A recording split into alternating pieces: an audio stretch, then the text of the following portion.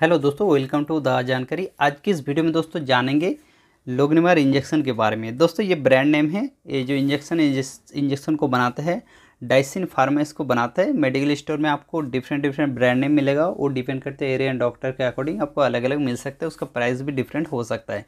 लेकिन सभी ब्रांड में दोस्तों, जो इंजेक्शन का सॉल्ट है सभी में सेम रहता है। काम भी सही में सेम ही करेगा दोस्तों।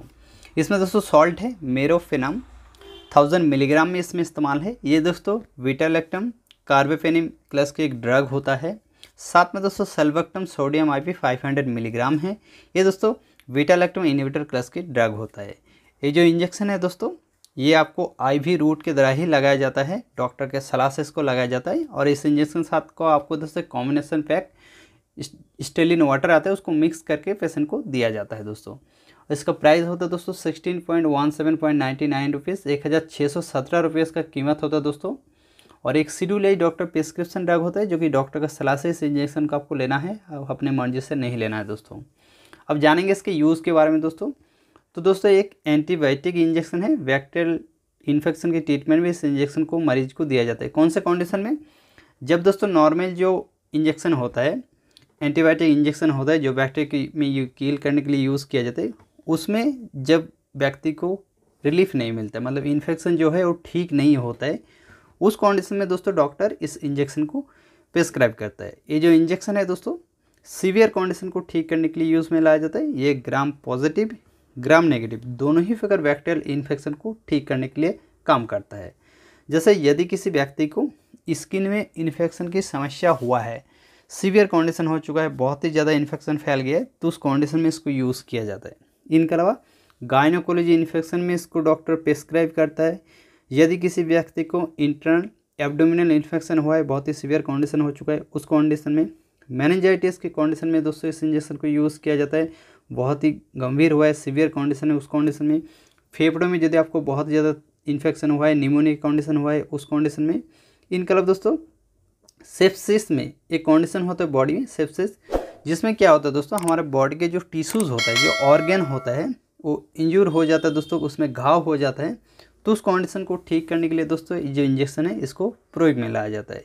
मतलब दोस्तों, हमारे बॉडी में किसी भी अगर बैक्टेरियल इन्फेक्शन हुआ है, वो सीवियर कंडीशन हो चुका है तो उस कंडीशन के ठीक करने के लिए दोस्तों डॉक्टर इस इंजेक्शन को मरीज़ को प्रेस्क्राइब करता है। अभी कैसे इसको दिया जाता है दोस्तों हाउ टू अप्लाई के बारे में जानेंगे। तो दोस्तों, देखिए only for IV route intravenous के रूट के द्वारा ही इस इंजेक्शन को मरीज़ को लगाया जाएगा।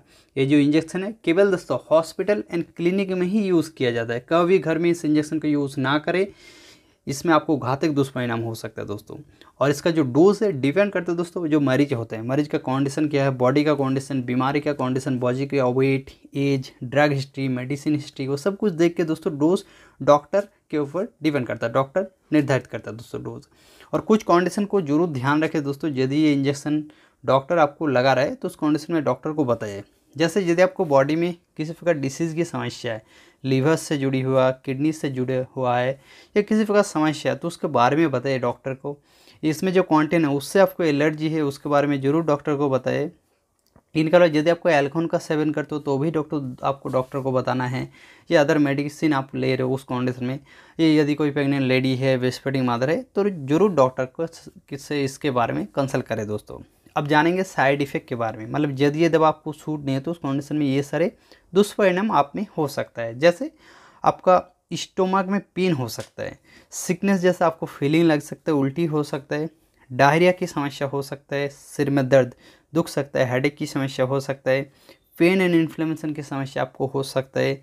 इनके अलावा दोस्तों, जिस जगह में आपको इंजेक्शन पूछ किया है, उस जगह में आपको पेन हो सकता है स्वेलिंग की समस्या हो सकता है, उसमें ईचिंग रैसा जैसे प्रॉब्लम हो सकता है। इनके अलावा आपको हाइपर सेंसिटिव की समस्या भी हो सकता है, कॉन्स्टिपेशन का समस्या हो सकता है।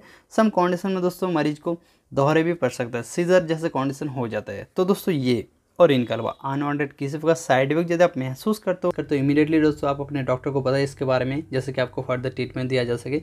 तो यही था दोस्तों इस इंजेक्शन के बारे में सब कुछ।